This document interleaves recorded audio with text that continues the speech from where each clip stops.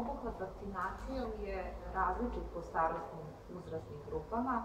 Najveći procenat je u grupi između 65 i 75 godina, čak 70% te populacije. Nešto manji obuhvat, oko 50% je stariji od 75, onda dolazi ta starostna grupa od 35 do 65 godina i radno aktivno stanovništvo. Najmanji obuhvat je u uzrastnoj grupi od 25 do 35 godina 17%.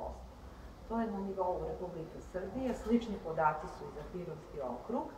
I ono što bih htela da naglasim ovog, uh, ovom prilikom, da je po stručnom metodološkom uputstvu ovaj, moguća i vakcinacija dece iznad 20, 12 godina Pfizerovom vakcinom, tim što bi se deca vakcinisala u domu uh, zdravlja, u službi za zdravstvenu zaštitu dece i uz mišljenje pedijatra.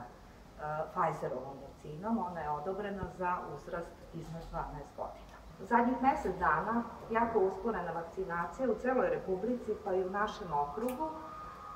Vreme je i prilika da iskoristimo ovaj, da kažem, miran period kada imamo malo cirkulaciju virusa u populaciji, kada je povoljna epidemiološka situacija da se što veći broj ljudi vakciniše, što nama ovde obično nije svojstveno i kada se radila vakcinacija protiv gripa svojevremeno, mi smo odlagali u onom trenutku kada počne epidemija i kada se, razli, kada se da kažem, pogorša situacija, onda bi svi da prime vakcinu.